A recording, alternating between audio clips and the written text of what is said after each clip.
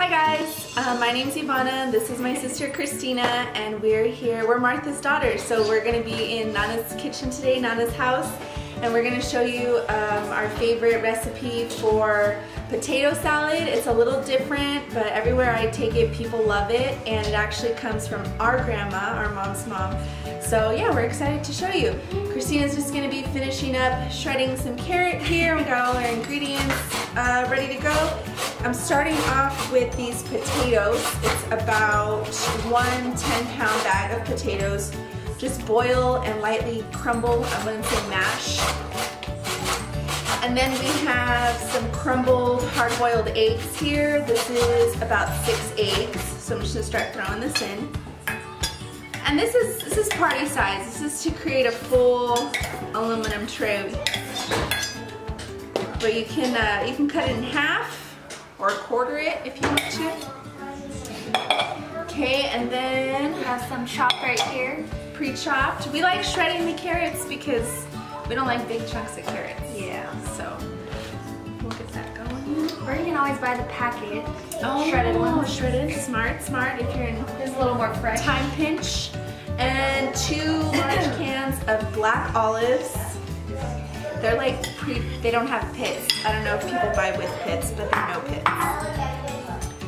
And then we have some pickles. These are chopped pickles. I think she said it was about six pickles, four to six pickles. So. Yeah, you kind of learn, okay, you kind of learn what you like more, put more of it, what you like less. This is chopped celery, one whole of, of stalks, so probably like four to six, six individual stalks.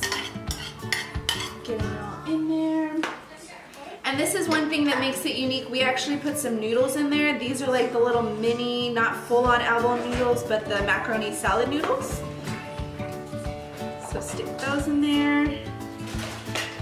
And then we'll throw the carrots in last. And was this one whole carrot?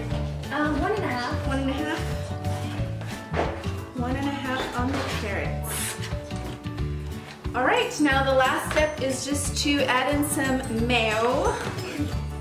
And then it's kind of based on taste on that too. So if you want it creamier, add more. If you want a little bit more dry, add less. And salt and pepper to taste. So I'm just gonna mix this up and we'll be right back to show you what it looks like. I did start mixing it with my hands. If you notice that it's taking too long with the spoon, you don't want your potatoes to get fully mashed. So don't be afraid to get in there, just tell yourself it's cookie dough and you're gonna be all right.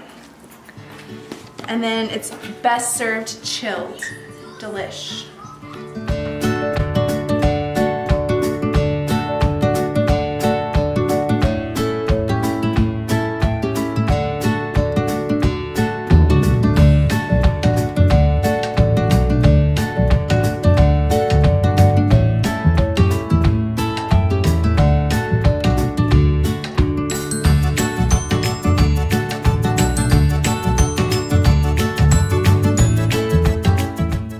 Ben Uncle with. Nana's Kitchen.